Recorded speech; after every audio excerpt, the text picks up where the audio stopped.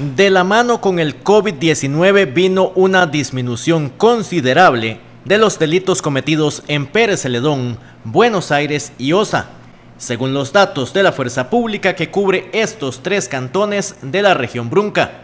La región tradicionalmente ha venido a la baja, sin embargo estos primeros 24 o 25 días de marzo hemos tenido una baja de alrededor de unos 45 delitos menos a nivel de Buenos Aires, Osa y San Isidro.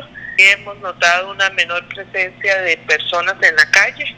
Parece que la gente, por lo menos este, en Pérez Celedón y en estos cantones, pues está haciendo caso al llamado de que es en la casa.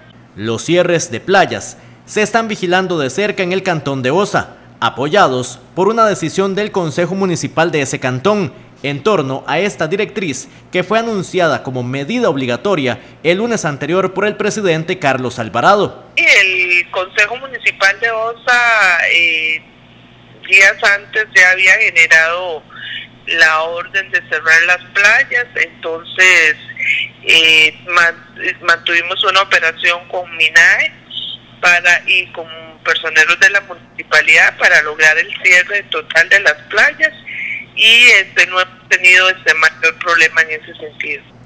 El control de bares en Pérez Celedón marcha con normalidad. Al mismo tiempo, las autoridades aclaran ciertas dudas con respecto a las operaciones de bares y restaurantes. Hay que aclararle a las personas porque si hemos tenido algunas llamadas de alguna gente molesta porque bares y restaurantes están abiertos. Los bares como tal que solo tienen patente de bar han cerrado. No hemos tenido mayor problema eh, eh, eh, en, el cierre de estos, establecimientos.